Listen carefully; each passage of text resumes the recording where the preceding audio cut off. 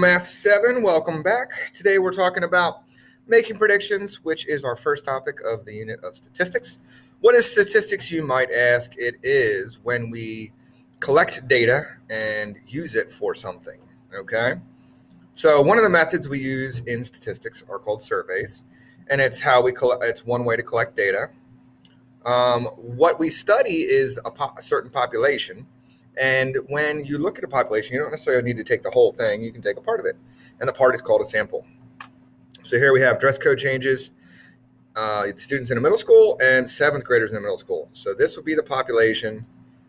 Uh, sorry, this would be the sample. and this is the population. Okay. Sample is always smaller. Um, it's what you do to uh, make it so you don't have to ask everybody. You can just take a part of the population Okay, here we have the customers at an ice cream shop in town and the residents of a town. So the town, residents or population, and the sample is a small piece that actually goes to the ice cream shop. Okay, so what we can do is use our uh, surveys to predict future amounts. So we a survey found that six out of every ten students have a blog. So what's the probability that a school student at the school has a blog? So remember how to find probability take what you want over what there is. So 6 out of 10 times 100 to make it a percent, 60%. Suppose there are 250 students at the school. Okay, so you surveyed 10 and 6 have a blog. So we're going to take this and you do your percent or fraction times the total population. 60% times 250 is 150 students.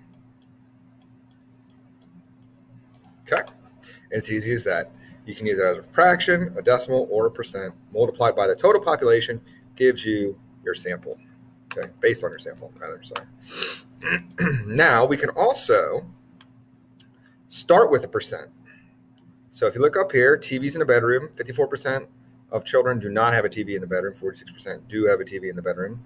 How many out of 1,370 students have a television in the bedroom? Same basic principle. You're going to take the total population times the percent you're looking for have a TV. 1,370 times, oops, I put minus 46% is 630.2, and you're going to round that 0.2 off. You can't have part of a student